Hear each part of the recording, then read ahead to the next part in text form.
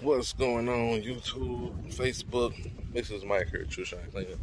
Here at um, a repeat customer. I came out here um, March 16th.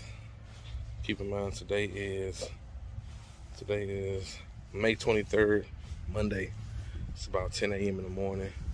And I came out here March 16th and I cleaned the uh, tile and grout for them. And um, I'm out here in the Hoist Estates uh, in Florissant, Missouri. And right now I'm doing some pressure washing. So I'm gonna take you guys around already. Uh, this side is pretty much done already. Uh, right now I'm working in the back. And as you can see, I'm not sure if you can see how the gutters look right here. But the gutters are pretty clean here. But you guys can, can look at this side of the gut. I haven't done the front side of this house yet. So you can see this side is pretty bad. This side is clean. So it is a lot of oxidation buildup around those gutters. So it's nothing I can really do about that, but I'm cleaning the black stuff off of it. And that's the main thing. This side right here was probably the worst out the whole house. Um, I didn't really get a video of this, but this came out great. As you can see, right now, I'm working in the back. So I'm using my pressure washer. I actually built this pressure washer. Um, so it's working pretty good. This is actually my third time using it. So but uh, it's really mainly focusing on the gutters. Like the siding is not bad at all, but the gutters is what their uh, main concern was. So right now I have my cleaning agent uh, sitting on the gutters right now and it's breaking it down pretty, pretty good. So I usually, uh, as you guys can see, I have a pump up sprayer right there. And I usually, I soak the house down with just plain water and then I come back with the, um, with the pump up sprayer and spray it. Um, so I haven't done this side of the house either. So I'm, done, I'm working on the back. I worked on the other side. So I haven't done this side or the front. I'm working on the uh, the worst sides first. So, and I'm going to touch up these windows once I'm done too. I told them I'm going to clean the windows for them. At least the windows, the high windows without the screens. So, does have a couple, bunch of windows back here, but I told them I'd throw that in. But uh, other than that, uh, I'll show you guys once I go around the front side.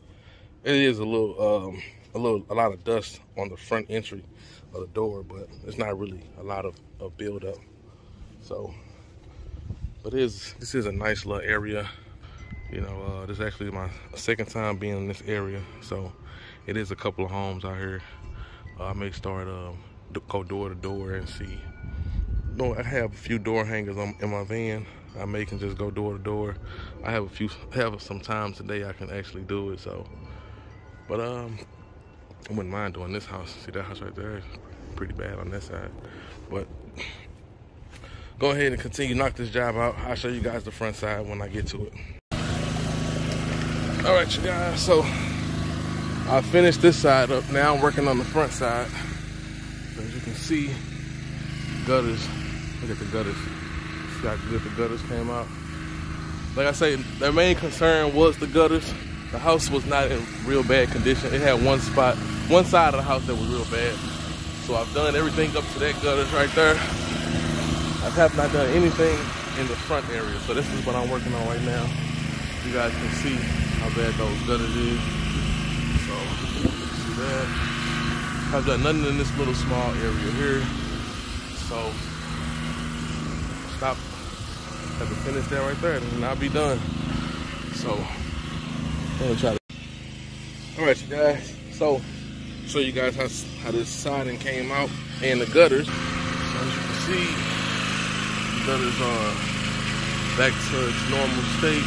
And like I say you can see that little dark line on it. That's oxidation buildup uh, you can't really do too much about that. But cleaning wise definitely came out great. So I'm gonna get ready to do my final rinse. I do have a few um few spots where I'm letting soak at the moment. Everything else came out great.